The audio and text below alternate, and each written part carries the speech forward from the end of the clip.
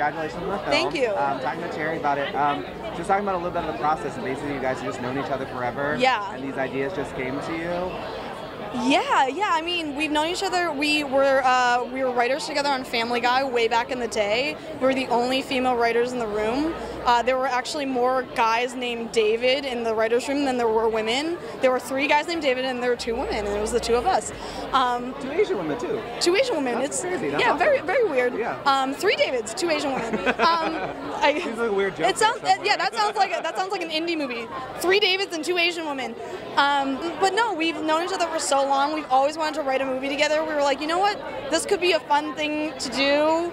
Uh, and we wrote it kind of not thinking that anyone was going to actually like make it. We're like, there's no way. This is crazy. It's raunchy. It's got a lot of you know insane things.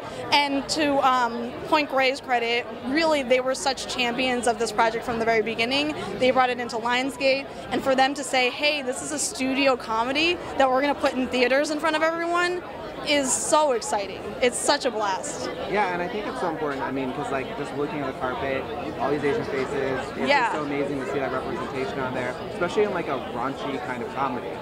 Yeah, yeah, we really haven't gotten to be able to do this before, and we keep on. I keep on saying like, why not us? You know, like why can't we see this? You know, we we should be able to see ourselves doing the most horrifying things that none of our family members would want us to do.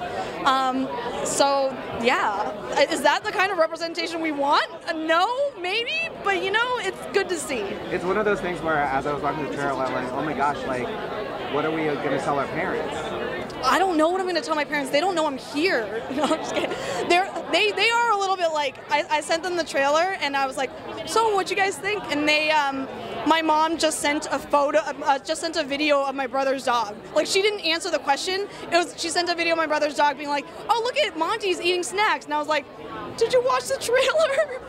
Classic Asian mom when she doesn't Yeah, want, yeah, yeah. She doesn't was want to be not nice. She didn't want to be not nice, but she was like, Monty, look at the dog. So that was very funny. I mean, all four of the characters are amazing. Yeah. Which one would you say you relate to the most? Oh gosh, um, I think I think through this experience, I really thought I wanted to be Lolo because I was like, oh, I'm fun, whatever. But I think in the process of movie making and producing a movie, uh, we're all Audrey.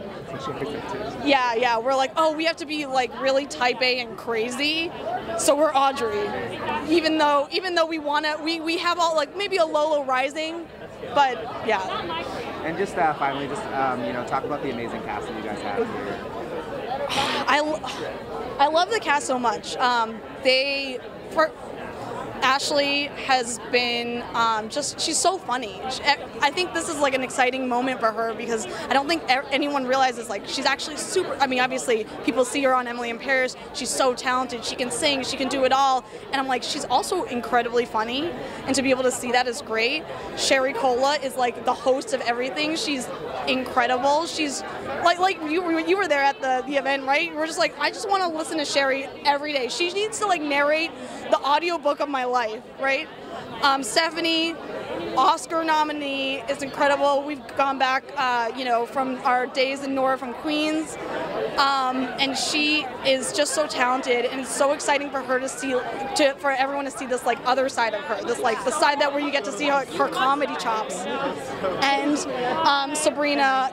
Sabrina is, uh, I don't know. Sabrina is the most amazing comedian. We're so excited for this to really be a breakout role for them. Um, and Deadeye as a character, they really brought so much into this character. Um, we're really pumped for people to see it.